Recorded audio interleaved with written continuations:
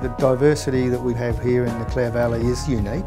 We sit at around about 450 metres above sea level by Australian standard. It sets us apart. The geology of the region is very old, somewhere between 600 and 800 million year old is the base rock formation. So it's pre-life, no fossils, seriously old geology. We try and do things as simply as we can, but really do hone in on the little things, the attention to detail that makes a difference.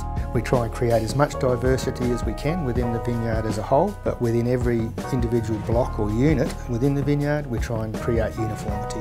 It's really a matter of preserving and protecting the natural attributes of the fruit that we grow.